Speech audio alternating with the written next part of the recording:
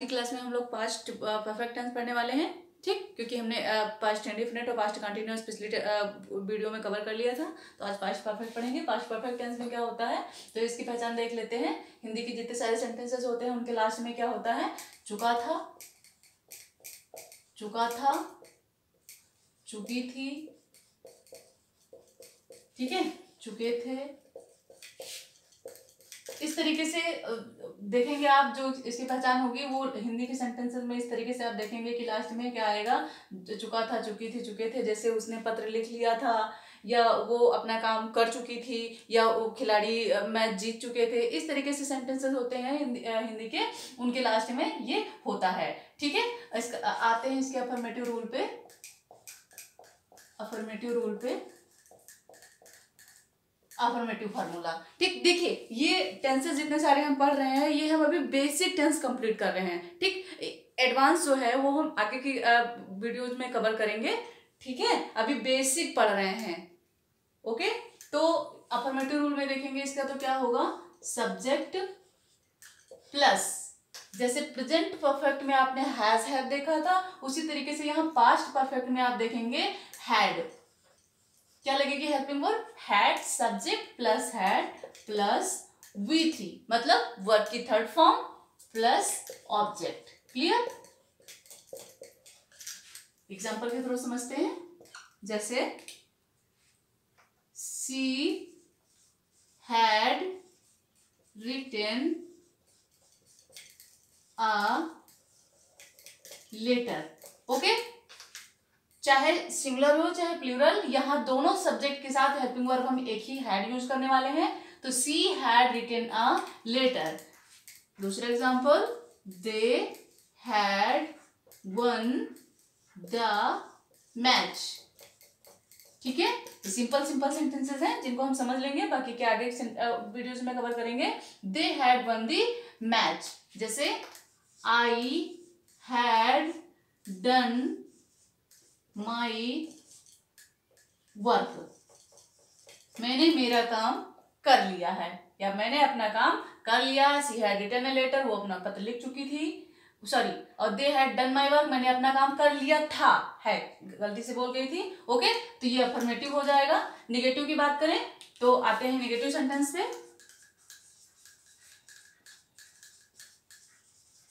Negative sentence negative sentence में subject क्या हो जाएगा? सब्जेक्ट प्लस हैड मतलब helping verb plus not plus V three verb की थर्ड फॉर्म प्लस ऑब्जेक्ट ठीक? ले लेते हैं। इसी को हम इसका नेगेटिव है जैसे she had return a letter तो इसका नेगेटिव क्या बन जाएगा? She had not return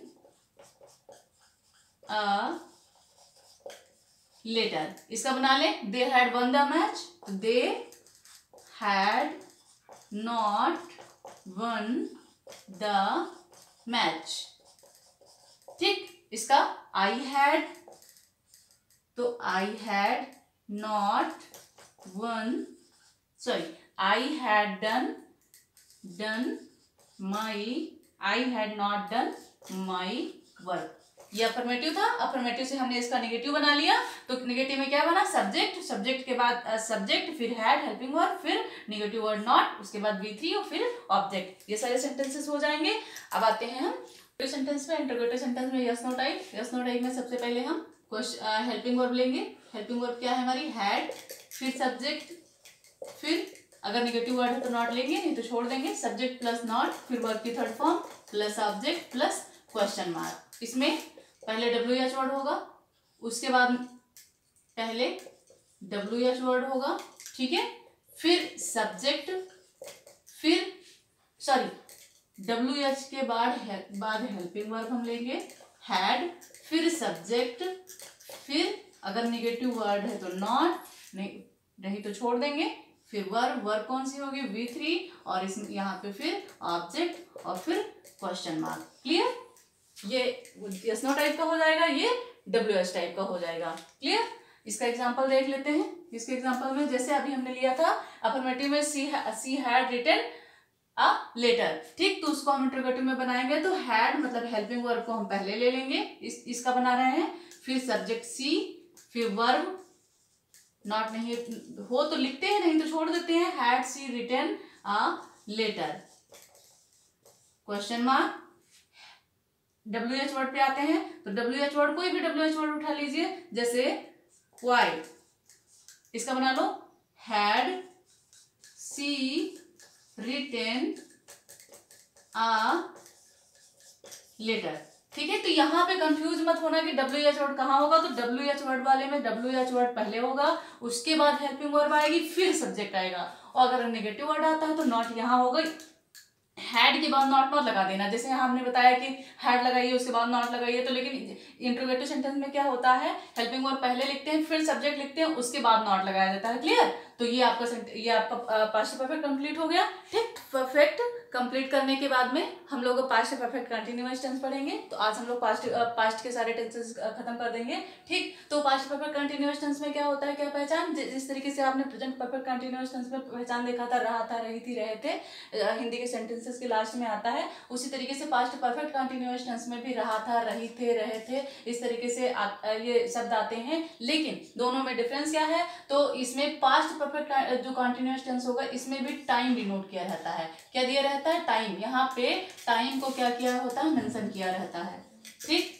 जहाँ पे टाइम मेंशन होगा, रहा था, रही थे आप समझ जाइएगा कि ये पास्ट कंटिन्यूअस नहीं पास्ट परफेक्ट कंटिन्यूअस टेंस होता है। इसमें निश्चित समय के लिए सिंस यूज़ किया जाता है और अनिश्चित समय के लिए फॉर यूज़ किया जाता है। अफर्मेटिव सेंटेंस का इसका फॉर्मूला देखते हैं तो subject plus had been plus V four आप देखेंगे कि जहाँ पे कंटिन्यूअस की बात आती है, वहाँ पे वर्ग हमेशा बी फोर मतलब वर्ब की फ़र्स्ट फॉर्म के आईएनजी में जाता है प्लस ऑब्जेक्ट प्लस सिंस या फॉर प्लस टाइम ठीक है? इसमें टाइम को मेंशन किया गया है तो आपको टेंशन टाइम लिखना पड़ेगा। एग्जांपल जैसे सी अफर्मेटिव सेंटेंस का इस फार्मूला बेस पर लिखते हैं तो जैसे she had been subject she had been helping verb before she had been playing ठीक है? खेल रही है? क्या खेल रही है? Football she had been playing football for an hour ठीक है? ये एन आवर जो है, एक घंटा, ये पीरियड ऑफ़ टाइम है, अनिश्चित समय इसीलिए हमने यहाँ पे फॉर यूज़ किया है। दूसरा एग्ज़ाम्पल जैसे the girls the girls had been had been learning learning music for several months. ठीक है? सेवरल मंथ्स भी ये भी पीरियड ऑफ़ टाइम है, इसलिए हमने यहाँ पे फॉर यूज़ किया है। तो subject the had been before object music for several months ठीक है? ये आपके दो एग्जांपल हो जाएँगे इससे। ये इस फार्मूला बेस पे रखा, ये आपका अफर्मेटिव हो गया। अब आते हैं नेगेटिव सेंटेंस अफर्मेटिव के बाद नेगेटिव पे आते हैं। Negative sentence subject plus had plus not plus been ठीक है? हैड और बीन के बीच में नॉट लगाएँगे plus V four plus object plus since for plus time उसी अब उसी तरीके से होगा, बस इसमें नॉट लगेगा। जैसे एग्ज़ाम्पल ले लीजिए इसका, जैसे she had not been she had not been uh, playing. She had not been playing football for an hour. तो निगेटिव में हमें क्या मेंशन करना रहता है सिर्फ़ नॉट ये हो जाएगा। दूसरा एग्जांपल जैसे the girls the girls had been had not been had not been learning learning music for several months ठीक है? इसमें कुछ नहीं करना होता बस हमको नेगेटिव वर्ड रखना होता तो ये नेगेटिव सेंटेंस आपका हो जाएगा। अब आते हैं इंट्रोगेटिव सेंटेंस पे। आते हैं इंट्रोगेटिव सेंटेंस पे। इंट्रोगेटिव सेंटेंस भी सबका फार्मूला उसी तरीके से होता है बस आपको हेल्पिंग वर्ब देखना होता है और वर्ब ये, ये सारी चीज़ें ध्यान रखना होता है। ये अगर आपका इस तरीके से टेंस कंप्लीट हो जाएगा तो आगे आपको आ, क्या डायरेक्ट इनडायरेक्ट हो गया एक्टिव पैसिव हो गया ये सारी चीज़ें पढ़ने में कोई दिक्कत नहीं होगी आसानी से आप समझ जाएँगे। ठीक है? लेकिन अगर ये नहीं समझ पाए तो वो समझने में बहुत दिक्कत हो जाएगी। तो देखिए इंट्रोगेटिव सेंटेंस का क्या है? यस नो टाइप में सबसे पहले हेल्पिंग वर्ड फिर सब्जेक्ट फिर बीन फिर वी फोर फिर ऑब्जेक्ट फिर since or for plus time plus question mark ठीक इसका एग्ज़ाम्पल देख लेते हैं यस नो टाइप का। तो यस नो टाइप में जैसे हैड हेल्पिंग वर्ब हमने पहले ले लिया सी फिर अगर नेगेटिव वर्ड है तो लिखते हैं। चलो लिख दिया हमने। फिर उसके बाद लिखते हैं been had she not been ठीक है? Playing playing football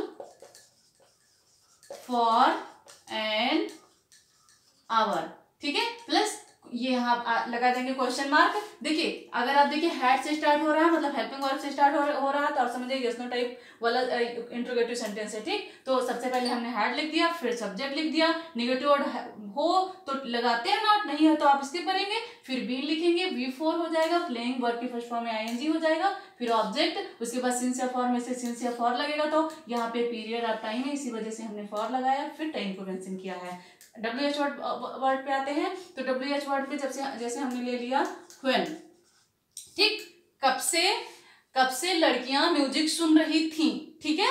वो सॉरी वाई लिखते हैं। हम ले लेते हैं वाई वर्ड वाई मतलब लड़कियाँ जो है, हम जो सेंटेंस हमने ले रखा था the girls had been learning music for several months तो उसको अगर हम इंट्रोगेटिव में बनाते हैं डब्ल्यू एच वर्ड में तो हम सबसे पहले uh, ये वर्ड चलो ये वर्ड हमने ले लिया एक डब्ल्यू एच वर्ड तो इसको उसके बाद में हेल्पिंग वर्ड हमने हैड ले लिया।